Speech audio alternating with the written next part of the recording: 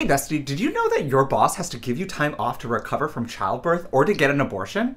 I bet you're wondering how that's possible, so let's dive in. These changes are part of new workplace protections through the Pregnant Workers Fairness Act. Discrimination against pregnant people in the workplace has run rampant for years, necessitating new legislation that would clamp down on employers who fire workers rather than accommodate their needs. After more than a decade of advocacy, the law passed in December 2022 and went into effect in summer 2023. But it wasn't until now that the Equal Employment Opportunity Commission, which enforces the law, released its final regulations that detail exactly exactly how the law will work in practice. If a worker requests time off to recover from childbirth or get an abortion, employers must, in good faith, accommodate those needs. At minimum, that means unpaid time off. But employers can also offer paid time off if they wish to. If an employer cannot accommodate the request for time off, they can deny the request, but only if they can prove that implementing the changes would create undue hardship on the business.